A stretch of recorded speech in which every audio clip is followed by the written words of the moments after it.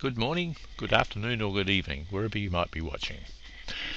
I'd like to show you a little procedure where I can highlight cells where the date has exceeded a particular date so that the overdue dates stand out with uh, some conditional formatting.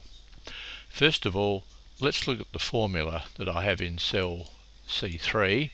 It is simply the today formula equal today open and close a bracket. That will always show me the date from the computer's clock.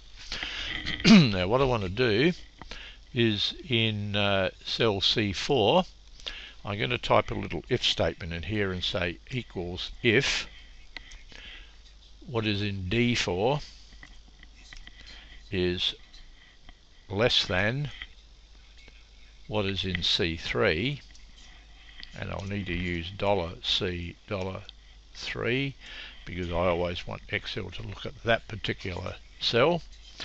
Then I want the words overdue. Otherwise leave the cell blank.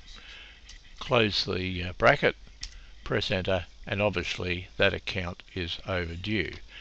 Now I'll auto fill that down and I can simply double click there because there's information in the column to the left and it shows me the overdue accounts. But what if I wanted to have overdue accounts be highlighted in some way so that they stand out?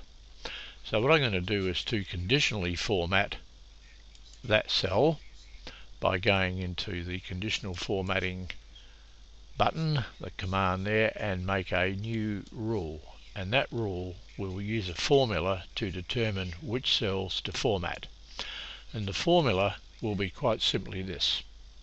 Equal D4 less than dollar C dollar 3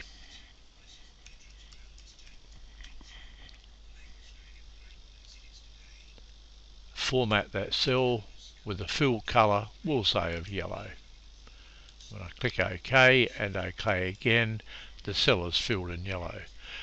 But I want to copy that uh, down, so I'll auto fill down and there are the two cells which are overdue highlighted.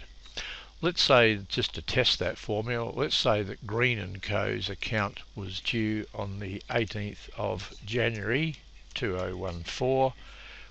Control Enter that also becomes highlighted.